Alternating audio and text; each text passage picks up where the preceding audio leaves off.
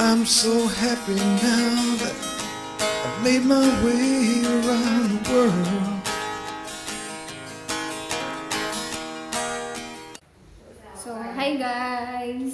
Advance happy Valentine's for tomorrow. Today is uh, February 13. So, wala tayong net kaya gagawa na lang tayo ng maraming uh, content para pag dumating na ready na yung mga videos natin. So, and for today's vlog, ay ko-continue ko lang yung ginawa kong vlog doon sa hardware. So, i- i-haul ko yung na, na, napamili ko at saka ipapakita ko sa inyo kung ano yon para alam nyo din yung mga prices.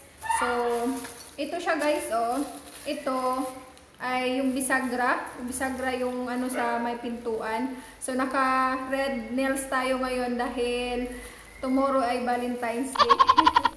so, sa isang taon na ako makakapagpalinis ng kuko guys sa, dito sa kamay. So, pagbigyan nyo na. So, ito naman siya guys, ang bisagra. Bigyan natin ng. Hangers bang tawag nito? Hangings. Hangings. Basta bisagra ito guys. Oh, wait, wait. So, ayan na, interrupt tayo dahil andito si Baby Shashang natin.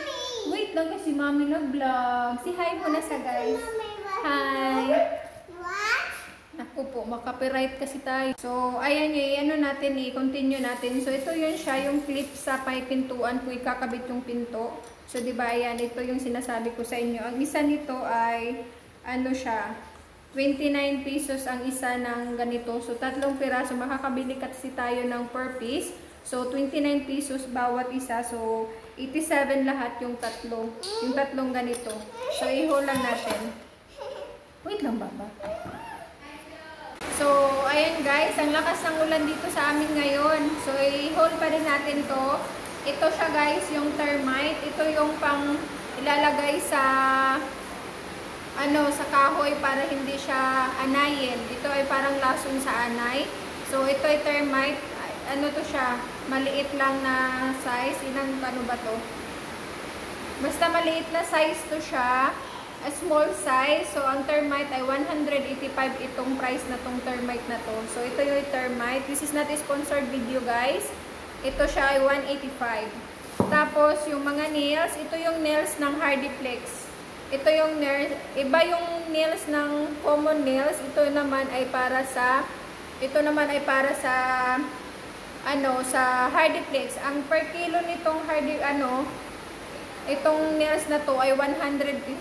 So, 115 per kilo ng Hardiplex nails. So, number, ano to siya? Number, number 1 yata, wala nakalagay. Pagpasensyahan nyo na. Tapos, mga nails kasi to, ito naman ay number 2 per kilo. Ito naman yung common nails. So, ito ang number 2. Ang price nito ay 60 per kilo. Ito ay 60 per kilo. Yan. Kasi ito yung gagamitin sa taas. Ito naman, ay, ano pala yun siya guys, 1 and a half. Ito ang number 2.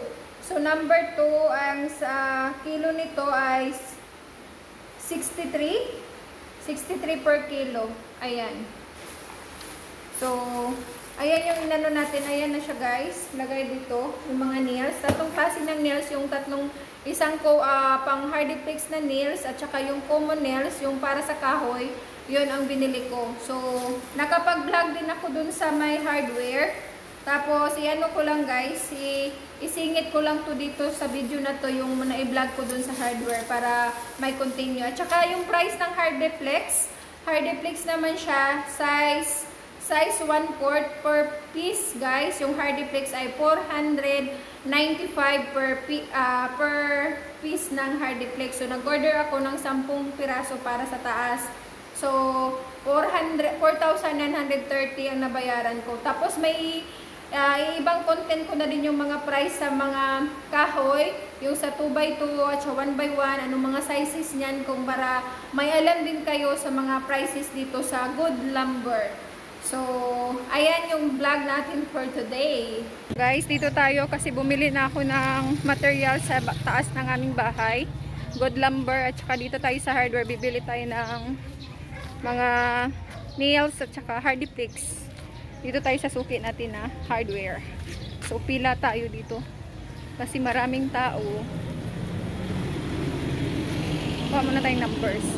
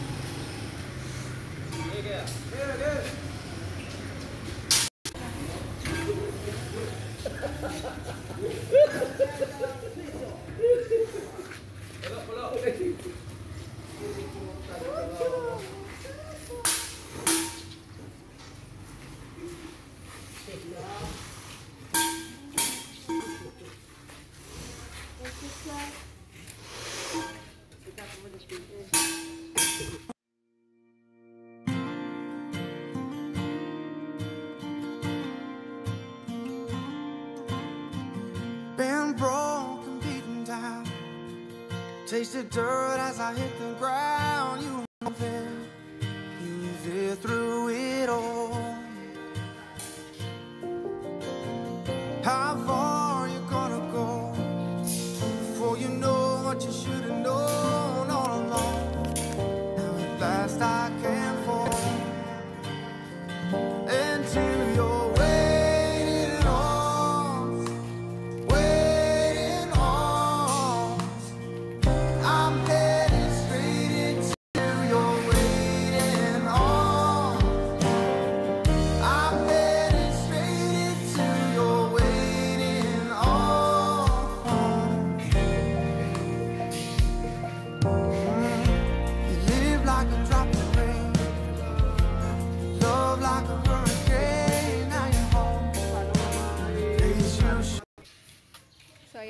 dito na naman tayo sa CPT na mga mabait na mga workers. Yung isa oh, dancing dancing boy. Dito tayo guys kasi bumili tayo ng ano, hardy flicks at saka yung mga nails. So, i-share na naman natin sa inyo kung magkano yung mga price mamaya pagdating natin sa bahay. Muna tayo dito kasi mababait naman yung mga ano dito, mga workers. At saka matagal na rin ako dito bumibili talaga sa kanila. So, yung isa dito ay YouTuber pero hindi siya masyadong nag-upload. So, nag-start na din siya mag-YouTube. Kaso, sobrang busy niya daw. Pero lagi siya nanonood sa aking YouTube channel. So, if you have a questions about the materials, guys, leave me comment para i-canvas natin dito kung mag, mag- ano yung mga prices para alam nyo at may share ko po sa inyo. Leave comment sa aking video na to kasi share ko sa inyo marami dito kumpleto sila lahat ng ating ah, building house kung kaila, anong mga kailangan nyo sa pagpapagawa ng bahay. Ang hardware na to ay available lahat-lahat ng mga materials na kailangan sa constructions. So, leave me comment kung you have a questions and ika-canvas natin yung mga prices. So, ang ibibigay at si-share ko lang sa inyo ng mga price, yung binili ko sa inyo, ah, yung binili ko para sa bahay namin. So, see ya guys!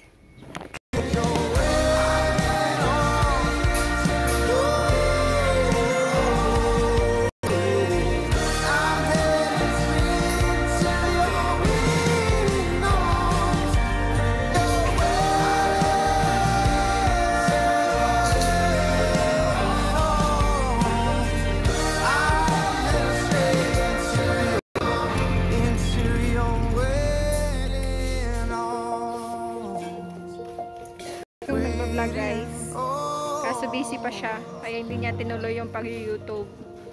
So, lagi lang siya nanonood sa ating video. So, mayroon pa dun sa kabila, malaki tong hardware na to. Dati, ano lang to eh, maliit lang to na hardware. Pero malaki na silang company. Pero yung ano nila, bodega, ay maliit lang. So, ngayon natapos na. So, isa doon ang entrance. Dito naman yung exit sa, dito sa log, ano ko, tinatayuan. So, yan dyan, no.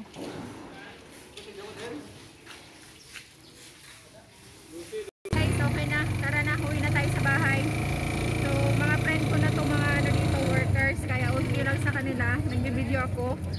At kilala na talaga nila ako. So, see ya!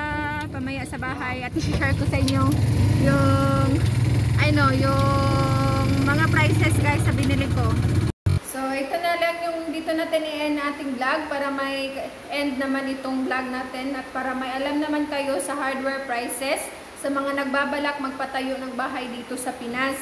So, if uh, if you are new to my channel, if you are not haven't sub subscribe my YouTube channel pala guys, please do subscribe. It's free to subscribe my channel and if nagustuhan nyo, like na lang po.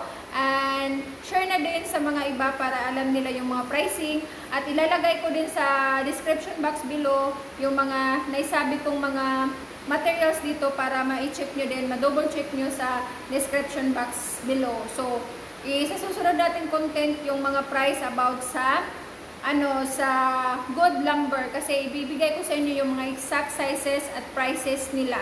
So, bye-bye for now guys. Please keep safe everyone. God bless you. See you next time. This see you in next next one. Bye-bye. Bubulol talaga ako. Bye guys.